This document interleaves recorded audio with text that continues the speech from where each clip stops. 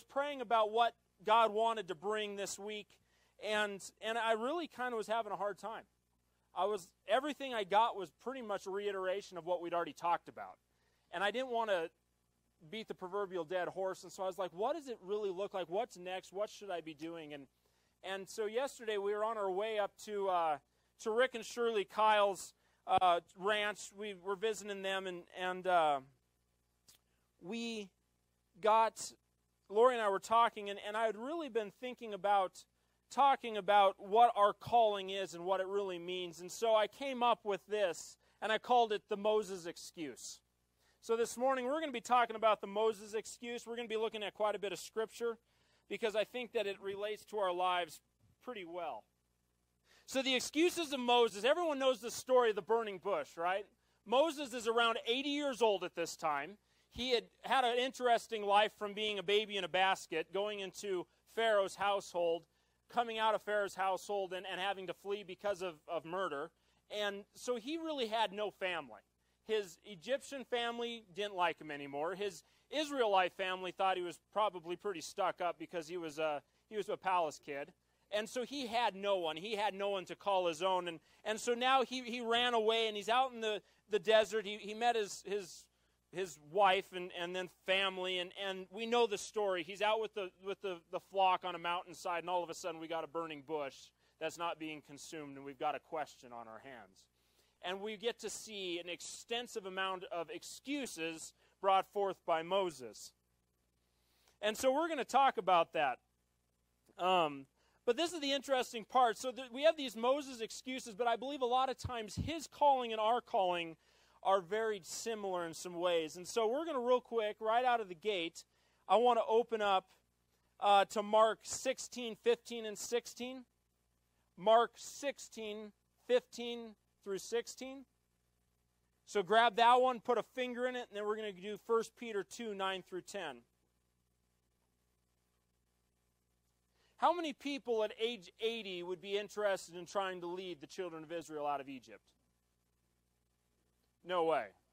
No way. Hey, you guys, I'm already on Social Security. I'm pulling my retirement. I'm pretty happy on my mountain. I'm going to take care of my sheep, take care of my family, and I'm golden. I'm not a young kid anymore. If you'd asked me 30 years ago, I'd have been all over it, but today, not really. Obviously, they lived longer in those days, but his average age would have still been close to 80, 90, around 100. It wasn't like back in Genesis where we're seeing 900 year old individuals. So he was already at the end of his life. He was at his prime age and past. And, and so when he was talking about this, I understand why he did not like what was coming his way. Let me tell you right now do not mix your last week's sermon notes with your this week's sermon notes. You get an interesting sermon. And so we're going to start out by Mark 16, 15 through 16.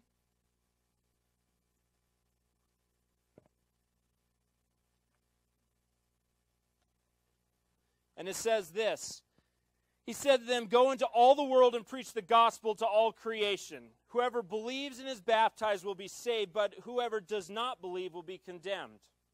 Obviously, that has nothing to do with Moses, but it has to do with what God's calling us to do. Moses had a call to deliver his people. We had a call to deliver people as well. But our call is for people's souls, not people's existence. Everyone have 1 Peter 2 9 through 10. We're going to go there next. And it says this But you are a chosen people, a royal priesthood, a holy nation, God's special possession. I love that. God's special possession. Did you know you are a special possession to the Almighty God? That, let that sink in. Let that actually permeate you a little bit. You are God's special possession. You know what that means? You have no ability to say, I'm not worthy or I'm not good enough because you're God's special possession. And you know what? I don't know about you, but I know something about my God. And my God doesn't make mistakes, and He doesn't make trash. He makes special possessions. You may sit there and go, You don't know my past, you don't know my present, you don't know what I'm going through, you don't know what I'm dealing with. I don't have to because you're still God's special possession. And this is it. The person out on the street, the guy that's getting out of that jail down the street this week, he's God's special possession, and we're called to be a part of his life her life. that family's life, the family with nothing, we're called to be a part of them because they are God's special possession. So we are a chosen people, a royal priesthood, a holy nation, God's special possession. And then it says this that you may declare the praises of him who called you out of darkness and into his wonderful light. Once you were not a people, now you are a people of God. Once you had not received mercy, but now you have received mercy. Let's pray. God, I thank you this morning for the opportunity to open your word. God, I thank you for the opportunity to meet together as a family. And God, I pray as we start looking a little bit at the excuses of Moses, that it might open our eyes a little bit to our lives. God, I thank you so much for meeting us in worship. God, I thank you for this family. And as we launch into 2016, I know we keep talking about it, God, but I feel that you've got great things this year. I sense that, I see that, and so, God, I pray that I could be a part of that. And I pray that this church could be a part of that. We thank you and praise you in Jesus' name. Amen. Okay, so we have, I believe that it is God's will, and I know this because it's scriptural, that none will perish. Would you agree? None should perish. How many people have ever found something that's so amazing you just got to tell people about it? It's like, I, I, I did it. Recently, what is it? It's the Instapot. How many people know what an Instapot is? We got a couple in the back. I had no clue what an Instapot was before this week. What it is, it's a pressure cooker, guys. That's all it is. But it's a funky pressure cooker you don't have to stick in your oven. It's just like a crock pot that's a pressure cooker. Go look it up. But, anyways, we now have blogs about it and we've got pages about it. The point is, they found the coolest new thing that's been around for 75 years to cook food in. But we found it again. And this time you have a cord on it. Exactly. It's easier and simpler. It's electric. Yeah, you plug it into the wall, and it's got digital, and, and you can cook your you can cook your your split pea and ham soup in five seconds or something like that. I don't know. But the point is this: when you find something really cool, you got to tell people about it, right? That's life. Well, let me say something right now. We've got the most amazing thing in all of history, and we know about it. But how often do we tell people about it? I can tell you about an Instapot, and no offense, no one's going to judge me. No one's going to, I mean, maybe some guys out at the plant might think I'm a little weird. But the point is this you can talk about an Instapot, and people will listen, and, and no one's going to get offended. But when we start talking about it, their eternity, people start getting offended. People start getting a little on edge. We're going to talk a little bit about Moses and his excuses and what, how it applies to us. So, for that, um, we're going to open up to Exodus 3, starting in verse 1, and we're going to spend some time there. Exodus 3, verse 1, the title in my Bible is Moses in the Burning Bush. Why this came to my mind is recently I've read about this story because I don't know about you, but I really would like a burning bush experience in my life. Wouldn't you agree? You have these questions God, what do you want me to do with my life? I'll take the, I'll take the burning bush. I like that. I want, I want it to be like, boom, a bush, and God's talking. And it's like, I'm all over it. Perfect. I'm in. I'll quit my job. I'll do whatever it takes because I had a burning bush in my backyard that didn't get consumed, and the Almighty God was talking out of it. Wouldn't that be easy? But instead, we sit here and go, God, I want you to give me wisdom. I want you to show me my future. I want you to show me my, my path. And then we, we, we stop and there's crickets because that's life. But there's also a time, and we had an individual, there was a, uh, we had a family this week. We went over to their house and we were talking, and, and this individual and I were talking, and we were talking about God's plans in our lives. And a lot of times, God opens doors and says, Do you trust me? Here's an open door. I'll close it if it's not my will, but I want you to open your heart to the idea that I'm just going to give you an option and you're going to have to trust me. It's going to scare you. It's not going to be enjoyable at times, but I'm going to open the door. So, not all of us get the burning bush experience like Moses. I read about it and, and prayed about it and asked God for another one. I even picked the bush in my back, 11 acres, hasn't burst into flames yet. Um, no, I'm joking. I didn't do that. But the point is this we want that. That's what we want. So, starting Exodus 3, verse 1 Now Moses was tending the flocks of Jethro, his father in law, the priest of Midian, and he led the flocks to the far side of the wilderness and came to Hebron, or sorry, Horeb, the mountain of God. Normal day, guys. Okay? Tending the flocks, doing this a long time. Everything started out normal, and it's just about to get freaky. The second verse there, the angel of the Lord appeared to him in flames of fire from within a bush. The day just got really crazy. Moses saw that though the bush was still was on fire, it did not burn up. So verse 3 says this, so Moses thought, I will go over and see this strange sight. Yeah, no kidding. Why the bush does not burn up. Verse 4 When the Lord saw that he had gone over to look, God called to him from within the bush, Moses, Moses. And Moses said, Here I am. Do not come any closer, God said. Take off your sandals, for the place where you're standing is holy ground. Then he said, I am the God of your father, the God of Abraham, the God of Isaac, and the God of Jacob. At this, Moses hid his face because he was afraid to look at God. He realized what he was dealing with. It went from being a burning bush to an encounter with the Almighty. Just like that. He realized, wow, this is not just a normal day any longer. verse 7. The Lord said, I have indeed seen the misery of my people in Egypt. I have heard them crying out because of their slave, slave drivers, and I am concerned about their suffering. So I have come down to rescue them from the hand of the Egyptians and to bring them up out of the land into a, into a good and spacious land, a land flowing with milk and honey, the home of the Canaanites, Hittites, Amorites, Perizzites, Hivites, and Jebusites. And now the cry of the Israelites have reached me, and I have seen the ways of the Egyptians and how they are oppressing them. So now go. I am sending you to Pharaoh to bring my people, the Israelites, out of Egypt. Up to this point, Moses is like, Oh, yeah, God, you see it? Oh, man, this is awesome. This is so great. I'm all over this. I'm all over this. Go. And he goes, Wait a second. That wasn't part of the beginning of this, was it? He was all good about hearing about the affliction and how God had seen it, and, and he was excited up to this point until he heard the part in verse 10 when he said, I'm sending you. So verse 7 starts with this But Moses said to God, Who am I that I should go to Pharaoh and bring the Israelites out of Egypt? Verse 12 And God said, I will be with you and this will be the sign to you that it is I who sent you. When you have brought the people out of Egypt, you will worship God on this mountain. First excuse Moses coughed up Who am I? God, maybe you don't realize who you're dealing with. I've got a past, I've got a history. You know what? I was once a member of the ruling house of Egypt. They know who I am.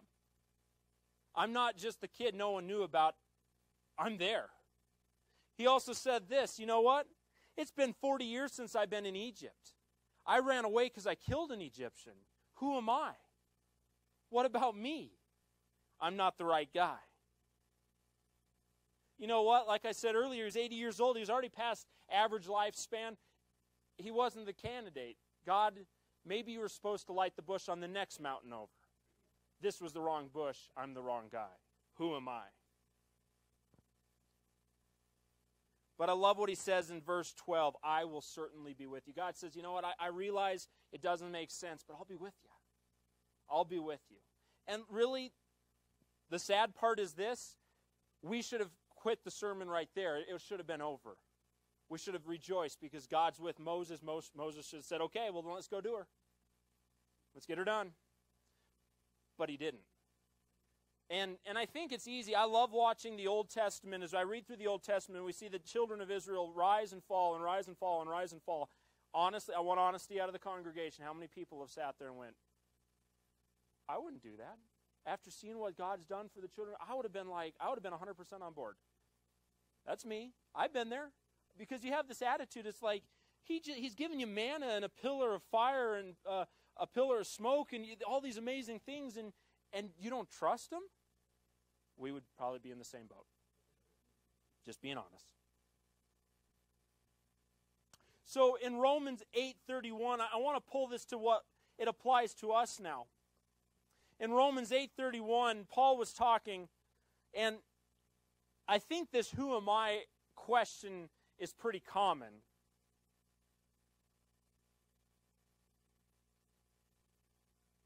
And this is what I love what it says in Romans 8:31. What then shall we say in response to these things? This is what we shall say. If God is for us, who can be against us? That was it. You know, Moses had a deck stacked against him. It wasn't going to work. But he had one card in his deck that was completely different, and that was the Almighty. I am who I am was on his side. Sad part is, we try some of the same excuses today. We try to excuse ourselves by believing we're insufficient for the task. We're not capable. Maybe we're too old. Maybe we're too young. You know what? Hannah blessed me this morning. You know why? Because she got a word. She had enough guts to stand up here and say it in front of you guys. And it was a word from God. It wasn't a word from Hannah, it was a word from God. And you know, one of the best things to know uh, it's a word from God is whenever you listen to it, it, it, it speaks to your spirit and you realize that's what it is. Let me say something. Pastor started a legacy and impact, and that is training itself out of itself. Let me say it again training itself out of itself. You know what? Someday I will lose my job to someone in this church. And that's awesome. Because that's how it's meant to be. We have mega churches that whenever they lose a pastor, they have to go find a pastor from somewhere else, from a college somewhere, because they're not training their people to take the helm of leadership in their own church. You want to know a person who's going to bleed for a church? It's a person that grew up in that church because they know what that church needs. It's easy for someone who's hired to, when it gets tough, to just pull the cords and say, "I'm done," because it doesn't mean anything to me because they're not they're not invested. You get someone like Hannah who, uh, from probably about the age of 12, 11, 12, has been a part of this church. She's invested in this church, and she's got a call of ministry on her life. It's awesome. So, but anyways, we have that excuse, you know, maybe I'm insufficient for the task. And you know what? I'll be honest with you, that's true. You are insufficient for the task. I'm insufficient for the task. There's not a person in this place that's completely and utterly qualified for the task that God's going to call him to. But that's why he said, I'm with you. Because if God were to call us, then he's going to equip us. He'll never call you unless he's ready to make you capable. A lot of times we try to do it in our own strength and we fail and we go back and say, God, see, I told you it didn't work. And God said, Wait a second, you never even invited me along on the drive. Insufficient without God, but with God we are sufficient. 2 Corinthians 3 5, you can write down, don't turn to it. I've got them written down. I'm just going to blow through them real quick. Not that we are competent in ourselves to claim anything for ourselves, but our competence comes from God. He has made us competent as ministers of a new covenant, not of the letter, but of the Spirit. For the letter kills, but the Spirit gives life. The letter kills, but the Spirit gives life. You know what? You take a person who, who walks off the street and doesn't have hope, and you say, These are your rules. If you can, if you can comply to this book of rules, then you're good enough to come into the church. The sad part is that's common, guys. But that's not biblical. God isn't God doesn't call me to clean anyone. He's all about cleaning. He's all about taking care of it. All we're called to do is be honest, be open, and to love one another. We have to be bold, but with that, you know, the best part about it is this the law kills, but the Spirit gives life. Let's sow the Spirit into the world because that's what's going to give life. So, with that, the who am I excuse, you know what? We can have that. You know, look at the apostles. If there was anyone that could have had that excuse, who am I? It was the apostles. We got fishermen, tax collectors. We've got, we've got, I mean, we've got a couple that were like, you know what? Maybe there's a couple in there that were qualified. Paul was qualified on a physical level, but on a spiritual level, he wasn't. God had to be the spiritual qualification in Paul's life. You know what? We had people like Peter who weren't qualified spiritually or physically. I mean, these guys, yeah, they, they had had some spiritual, some spiritual schooling, but they weren't qualified. But God says, you know what? Leave your nets and follow me. I'll make you a fisher of men. I'll qualify you because I don't care about past. So the first one, who am I? The second one, What shall I say? And for that, let's read further on. Verse, uh, verse 13 Moses said to God, Suppose I go to the Israelites and say to them, The God of your fathers has sent me to you, and they ask me, What is his name? Then what should I tell them? God said to Moses, I am who I am. This is what you are to say to the Israelites I am sent you, sent me to you. 15 God also said to Moses, Say to the Israelites, The Lord your God of your fathers, the God of Abraham, the God of Isaac, and the God of Jacob, has sent you. This is my name forever, the name you shall call me from generation to generation. And so the next one is this What shall I say? Moses knew that uh, if he should go to the children of Israel, they were bound to be questions. There was enough of them around still to remember who he was and what his past was. What are the questions? And you know what he says? This is what you should say. This is my name. This is who I am. As a Christian, we're in the same boat. There's going to be questions. There's two things I think that are really important when we're going and speaking to the world about the love of Jesus Christ. Number one, honesty. You know what? You know who I am? I'm Jeremy Haroldson. I'm 29 years old. I'm a mechanic welder at a coal fired power plant, and I'm a pastor at Impact Ministries. I deal with the same stuff that you deal with every day. I deal with frustrations. I deal with anger issues. I deal with the, the language. The, that's what I deal with. I'm just a normal person. But guess what? There's something very much different. It's this I say, God, I give you my life. I'll do what you want me to do. And there's a lot of people in this room that have made that decision. And when we do that, it radically changes who we are. Yes, I am a mechanic, but guess what defines me? God. Yes, I am a pastor, but guess what defines me? God. So, number one, honesty. Number two is this you need to show them that God is love. I think there's two images of God that we need to be careful that we don't portray. We don't portray that God is the grandfather in the rocking chair that's going to give you whatever you want whenever you want it. That's not God. God is there to supply all our needs. I'm not saying that. But if we brand him as just that, then there's no fear for the consequences of our sin.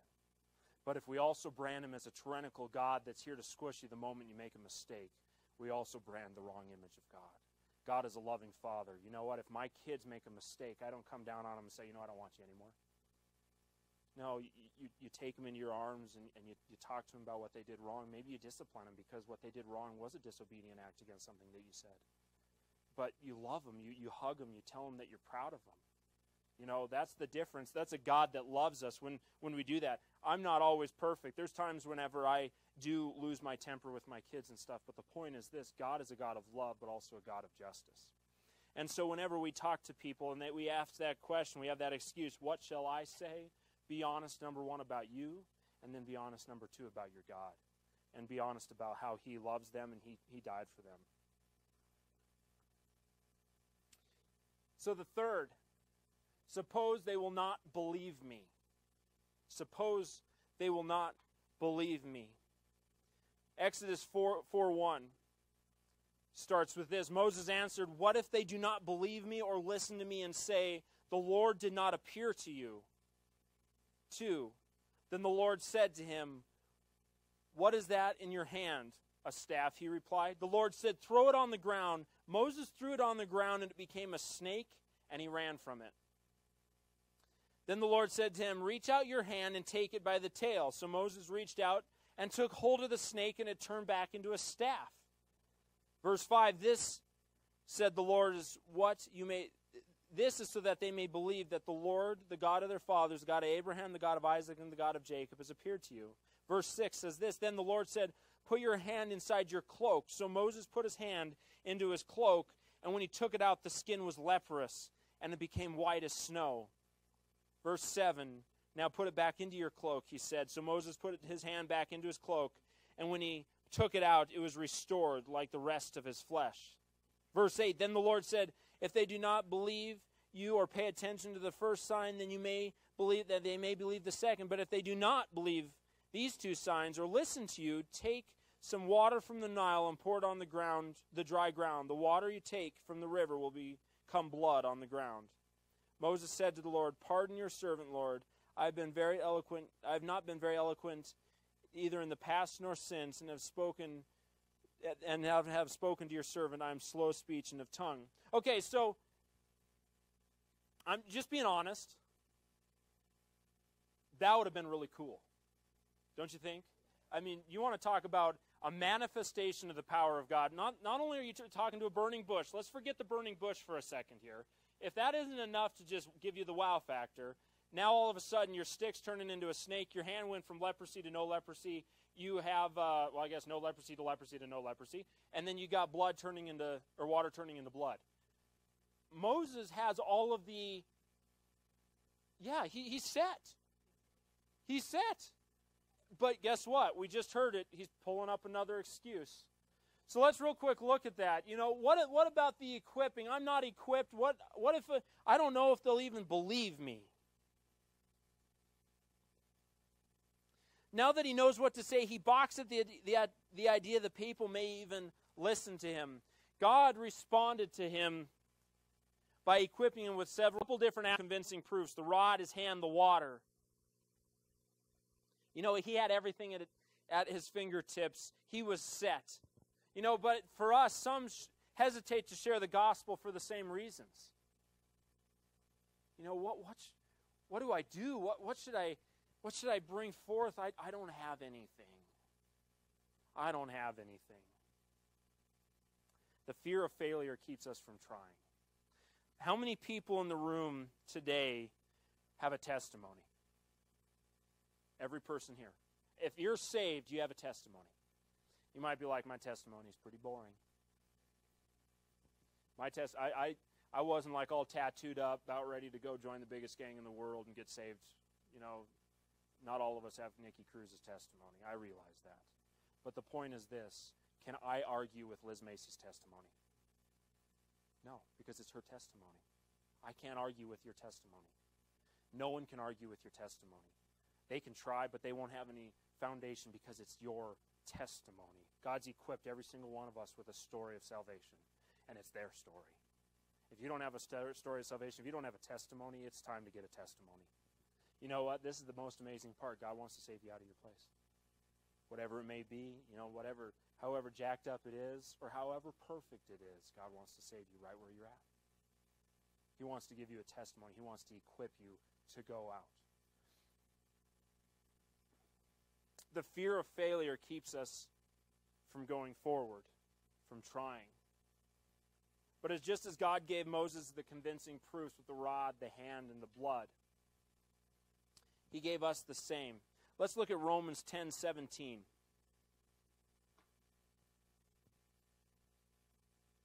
Romans 10 17.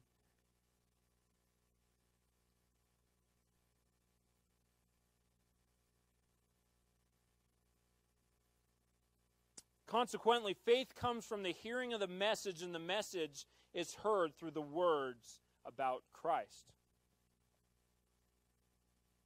Again, consequently, faith comes from hearing the message, and the message is heard through the words about Jesus Christ. You know, talk about God, Jesus, what he did. Start building a case for Christ in their lives because this is it. There's, if there's one person that can save them, it's Jesus Christ. It, it, isn't, it isn't their 401k.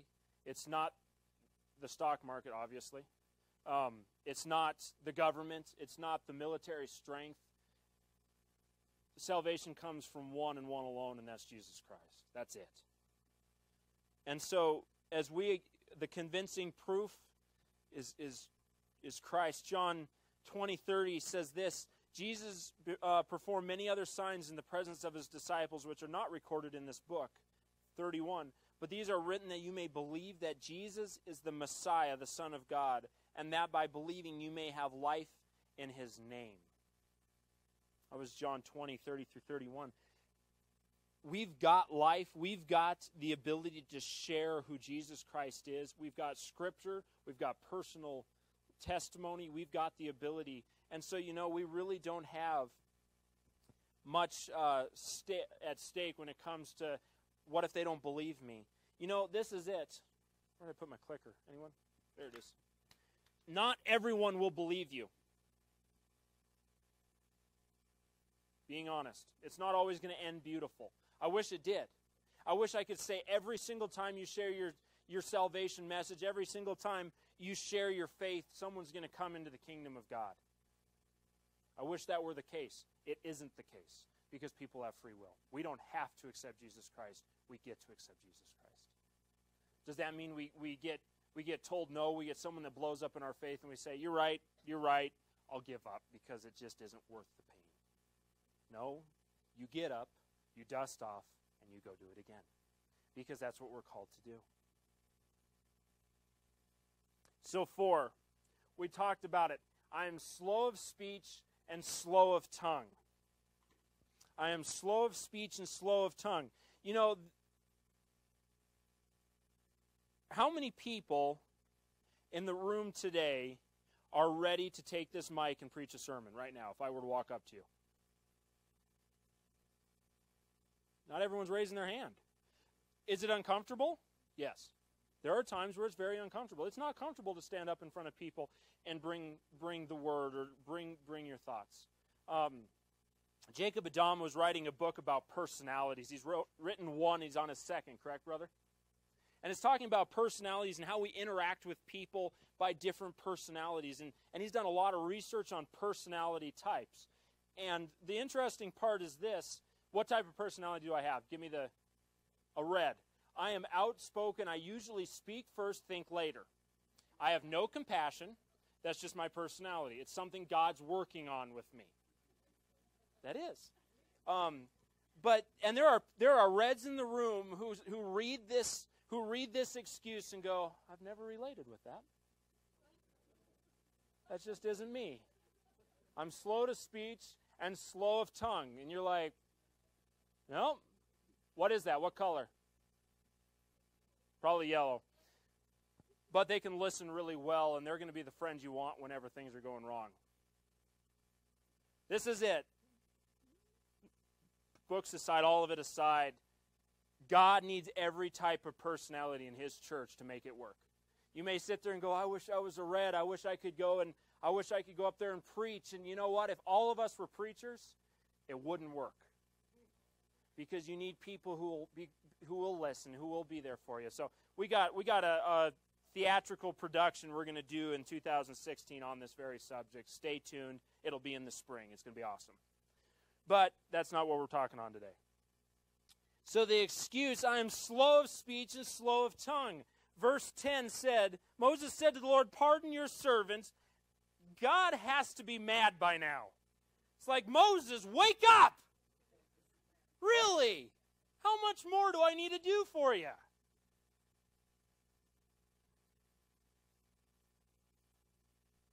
Pardon your servants. Lord, I have never been eloquent, neither in the past nor since you have spoken to your servants.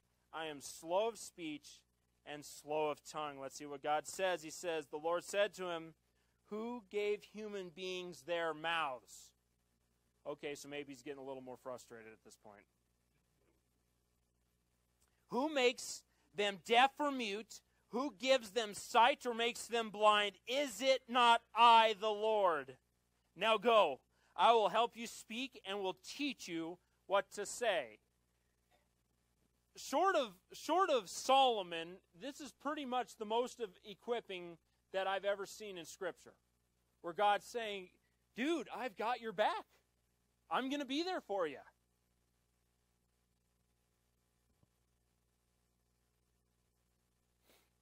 Moses claims he is not an eloquent speaker. But God is not moved by his objection. God's like, oh, you're right. Wrong guy, next mountain. He already knows the inability of the people he calls. Doesn't that seem interesting? He already knows the inability of the people he calls. He doesn't call Janet and go, Well, I didn't know all this stuff about her. I wouldn't have done it if I did. God's God, He knows all. God would have not said, You know what, I feel at this point in time it's Jeremy's calling in his life to take lead pastor position at Impact.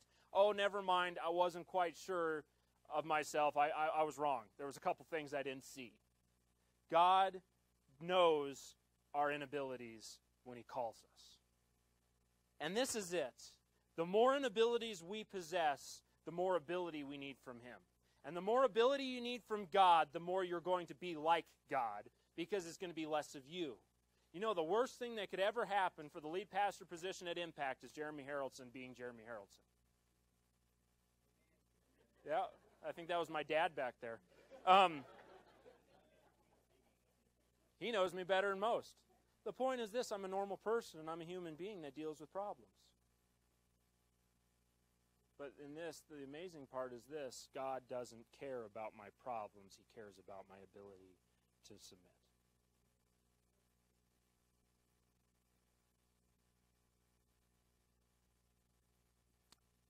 My excuse would not have been I'm slow of speech and slow of tongue. I would have been, it would have been this, and this is honest. I scored two on my compassion in my in my t- uh, gifting, and that's honest, you guys.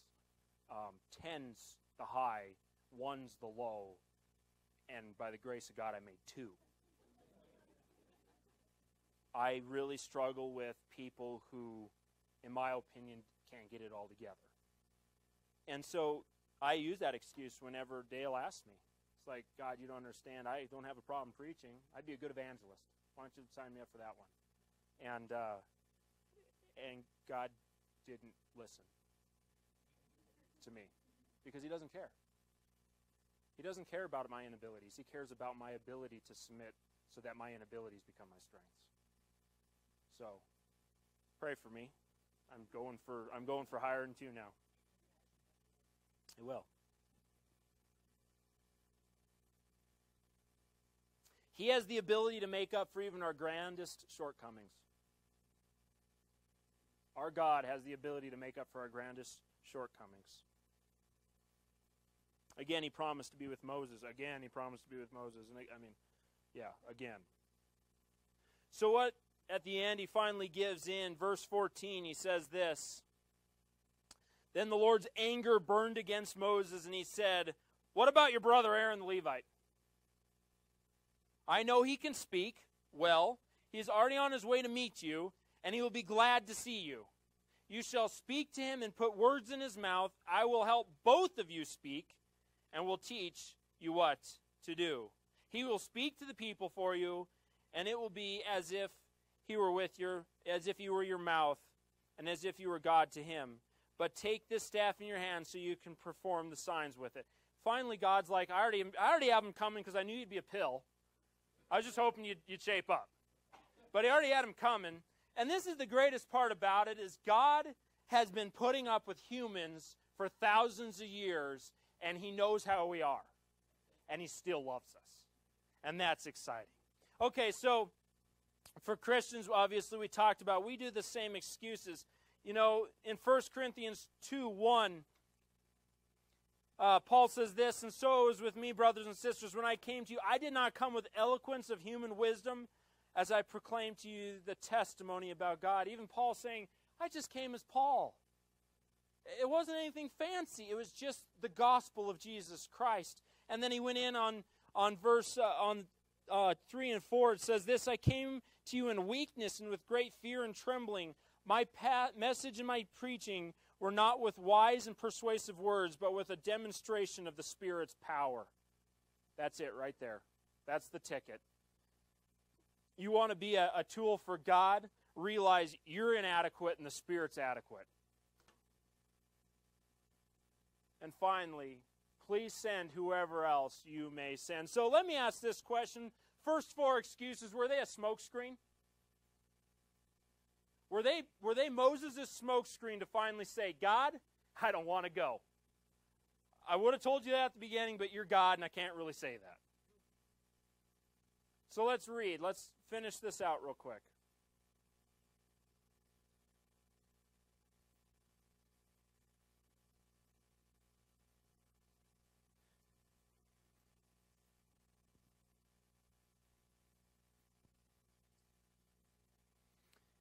So we know the story goes on. Moses returns to Egypt. After the, the anger of the Lord kindled against him and burned against him, and, and he finally said, uh, in verse 13, but Moses said, Pardon your servant, Lord, please send someone else. at that point is when, when more than the bush was burning. We had God burning at that point. He was mad because he finally said, Enough, Moses. You're going. Aaron's going with you. Time to get off the mountain. Go get rid of the sheep. Go to Egypt.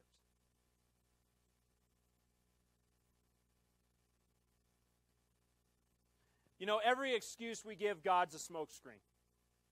It really is. And the smokescreen is this I'm going to try cover up the fact I don't want to go. I don't want to do it. How many people here, if I were to say, we're going, I'm buying all tickets and we're going to Elitch's. Who wants to go to Elitch's with me? It's a amusement park in Denver. Okay. So there's some people who are like, my body won't do a roller coaster.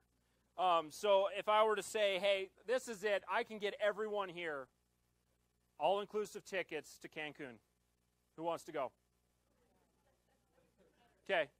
Some people are interested. Some people aren't interested. But most of everyone's interested. Hey, we're going to go and we're going to share our faith at the mall in Denver. Who's, who's interested? We got a couple. But the point is this it's easy to want to go to Cancun all inclusive on the church.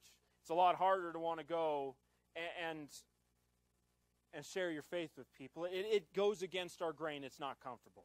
If you think it's comfortable, then that is really awesome because that means you're doing what God's called you to do. But this is it. Any excuse we use is a smokescreen. We'd really rather God use someone else. It's easier. It's more comfortable. Church is comfortable when I can come sit in my seat. I get out at 11:30, 11:45. I can go home and everything's good. It's a lot less comfortable when God calls me out of that and says, "You know what? It's time to go and do something different."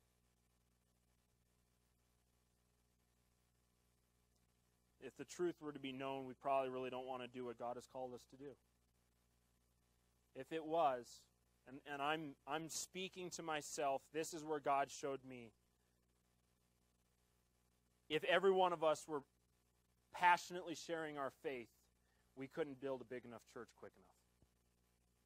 Let me say it again. If every one of us was passionately sharing our faith, we couldn't build a big enough church quick enough. We would change our remodel plans and we'd knock that back wall out before we ever looked at doing a kitchen because it wouldn't matter about a kitchen because we wouldn't have enough seats to seat everyone. We would be worrying about two services because we would have to do two services. And I'm not, I'm not coming down on you. I'm coming down on me. I'm coming down on us. This is us. All of us are in this boat. All of us deal with this. Because guess what? It's more comfortable to talk about the Instapot or whatever it is than it is to talk about our faith with Jesus Christ. What's it called? Instapot. Thank you. Do go look at it. It's cool. There's even a blog that was started. Go look it up too. That's cool too.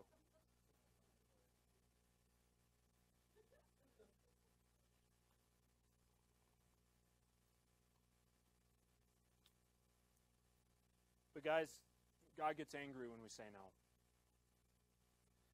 When we were talking about a God of, of grace and a God of love, God is a God of grace and a God of love, but sometimes love means tough love. Maybe sometimes love, you know what, as a parent, you've done this. There's sometimes you've done things where if you were to ask your kid, Does your parent love you? They'd be like, No. I don't know why taking the keys Friday night's loving me. But whenever you do that, you know that what's best for your kid. You know what's best for your child because you know that the decisions they've made is leading them down a path they shouldn't go. And so we're going to take those keys Friday night. And you can spend, we'll do a movie night as a family. And, and you got a torqued off teenager sitting on the couch next to you. But the point is this it's because you love them, it's because you care. Tough love sometimes is a love driven by a form of anger, a, a righteous anger. You know what? Whenever we tell God no, there is going to be a fueling of his anger. When we say we're a Christian, I'm a Christian, you're a Christian, when we claim Christ as our Lord and Savior, we can't claim Christ without claiming the calling. Listen, guys, we can't claim Christ without claiming the calling. God has called you, it's time to walk in the calling. And it's time to ask for forgiveness because this is it. Maybe God has been trying to needle us for a long time to go into this next step. And you know what? We've given excuse upon excuse. We could write another five lines up there of what we say to God whenever He goes and tells us that. I don't want to offend. You know what? I'm not a good enough friend yet. You know what? Those are, those are in, at times legitimate, but the point is this if God's telling you to go, they're not legitimate anymore. At that point, they're only excuses. If we've been making excuses, it's time to repent. We know the rest of the story with Moses. He answered the call, went to Egypt. With the help of God, he delivered over a million children of Israel out of Egypt. He, he, he literally riddled Egypt in the process, God did, through plagues and through uh, the, the killing of the firstborn, and then ultimately the annihilation of the Egyptian army in the Red Sea we realize that uh, there was a massive power swing because of this Exodus. And it was all because an 80 year old guy said, you know what? No more excuses, I'm going. But what about us? What's the rest of our story? What's the rest of your story? Let me tell you my story. I said yes. Not comfortable. Not exactly what I had thought I was going to do someday. It wasn't on my agenda or my radar, full time ministry. That wasn't it. But God said, I'm calling you and you're going to go. And I gave him excuses. Because it's not comfortable, guys. It's not always enjoyable. Is it rewarding? Yes, it is rewarding. But it's not always what we think it should be. But what's yours? Personally, right now, every single one of you, I don't care where you're at, because I still, even though I said yes, I still have the what ifs that I'm having to work out. Every one of us have those. What's next? Shall we heed the call to preach the gospel to the lost, like we read in the first in Mark 16, 15, and 16? Go into all the world and preach the gospel to every nation? You know, are we heeding that call? Or shall we make excuses? And you know what? One day we will suffer judgment for that.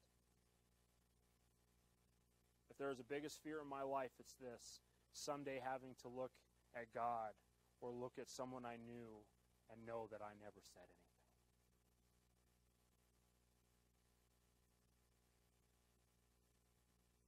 Only time will tell. I'm going to come up real quick. As we, ch- as with a challenge, um, know this if you come to Impact and you don't have a personal relationship with Jesus Christ, there's someone in this place that wants to pray with you. There's many people in this place that want to pray with you. But this is it. The person sitting next to you right now, they'd like to pray with you. I'd like to pray with you. Pastor Casey or Pastor Jody, uh, David. There's many in this room that are ready and willing to meet you in your place. So don't leave this place without a personal relationship with Jesus Christ.